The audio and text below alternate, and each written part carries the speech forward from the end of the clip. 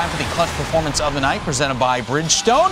Let's go to the guy with the C on his chest. Nick Foligno gets the first and then picks up one later in the game. Two tonight for the captain in the win rate. Well, captains are supposed to lead the way, and they're supposed to lead the way in every department, not just the goal scoring department. Foligno with two in this game, but lead the team to victory after, or not even a victory. It's more lead the team to a great performance because that's what the coach was looking for. Nick Foligno, a tremendous captain. He's a player that you know when the game starts that as a captain, he is not going to let you down. Even if he didn't have a letter on his jersey, he learned that from his father, Mike. It's every game, every shift as if it's his last one. Nick Foligno showing once again this is his up year to score. He seems to have these up and down years. This is his up year. Two great shots from the slot, wide open in both situations.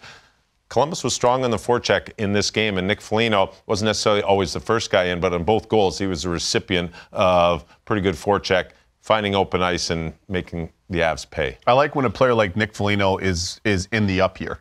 I love when he's yeah. productive offensively because your point, he does all the little things away from the puck, with the puck, battles on the boards, D zone, all the little things that the coaching staff look, they don't have to worry about his effort.